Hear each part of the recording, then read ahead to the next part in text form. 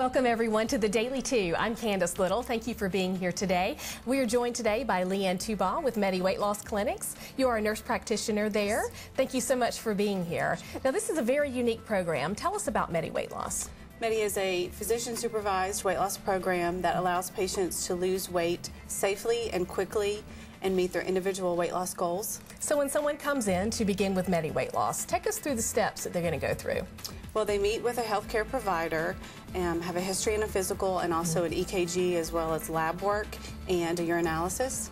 Okay, so this is something that being physician supervised, um, unlike, unlike a lot of programs, um, it's going to offer a lot of health benefits for them. Absolutely. Our goal at Medi is to have our overweight and obese patients be healthy patients, mm -hmm. and healthy patients have less incidence of high blood pressure, high cholesterol, mm -hmm. Prediabetes, and diabetes. Absolutely. And talk about the food because I know that's always a big thing for people.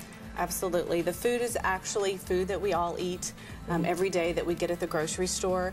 Um, you'll meet with a counselor who will break that down for you and um, tell you what it is that you need to purchase. We do have some additional supplements that you can buy throughout the program, but the underlying structure is everyday food. Okay, and when you talk about supplements, are any of these, are we talking about HCG at all?